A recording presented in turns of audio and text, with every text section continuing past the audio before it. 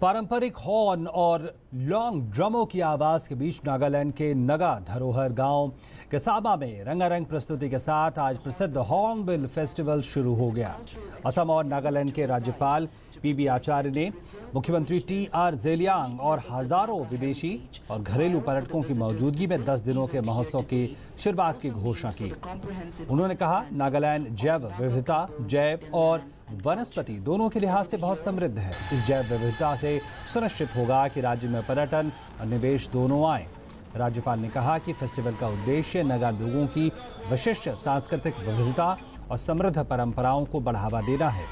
मुख्यमंत्री जेलियांग ने अपने संबोधन में कहा कि ग्लोबल वार्मिंग और जलवायु परिवर्तन के खिलाफ लड़ाई हाथ में लेते हुए सरकार ने इस उत्सव को पर्यावरण अनुकूल बनाने का फैसला किया है। इसलिए सभी उद्देश्यों के लिए जैविक रूप से नष्ट होने वाली सामग्रियों का इस्तेमाल करने का नियम बना दिया गया है। राज्यपाल और मुख्यमंत्री दोनों ने राज्य में लोगों को शुभकामनाएँ।